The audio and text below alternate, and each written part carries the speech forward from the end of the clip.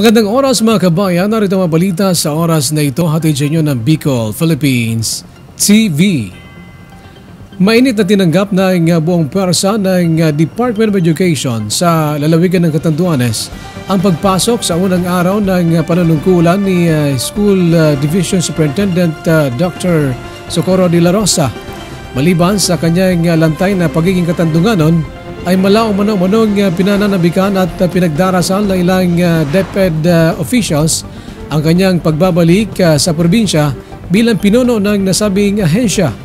Para naman sa bagong uh, superintendent, ang uh, kanya wanang pag-upo sa posisyon ay isang realization ng kanyang pangarap.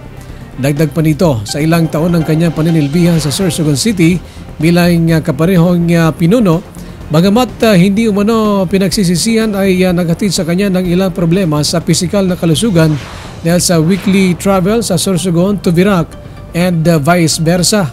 Kwento ni De La Rosa, ang kanyang assignment sa Catanduanes ay bunga ng isang uh, regular movement sa loob ng uh, Department of Education.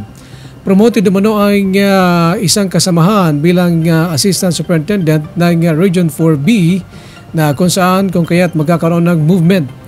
Ang dating OIC ng Catanduanes na si uh, Nympha Guemo ang siya umunong pumulit sa kanyang pwesto sa bahagi ng Sorsogon.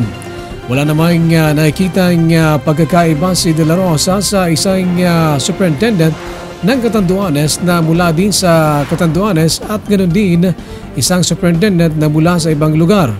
Ito mano ay uh, pagtupad sa trabaho at uh, yun din ang kanilang uh, naging bukasyon. Gayunman, binigyan din ng uh, naturang opisyal na bintahin mo no ang uh, isang superintendent sa isang lugar dahil nga sa mga pribileyo na hindi na maglalakbay ng malayo. Marami umunong adjustment subalit kabisado niya umunong ang lugar at mas madali umunong maintindihan siya ng kanyang mga kabayan. Ganon din ang sentimento ng mga ito.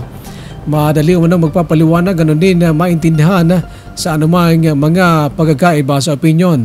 Gayunman, inamin ni De La Rosa na hindi madali para sa kanyang trabaho bilang hepe ng Catanduanes lalo na na mayroong uh, mga nasaktan at nasugatan ng kalooban sa nakalipas sa mga araw.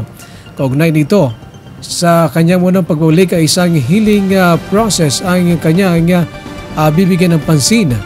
Wika nito na tinukoy ng problema at matid na ng ilang sangkot ang naturang mga bagay.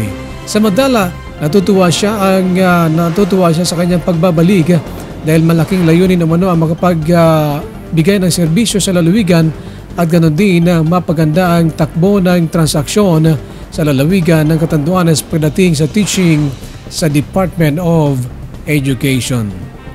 At yan ang balita sa oras na ito.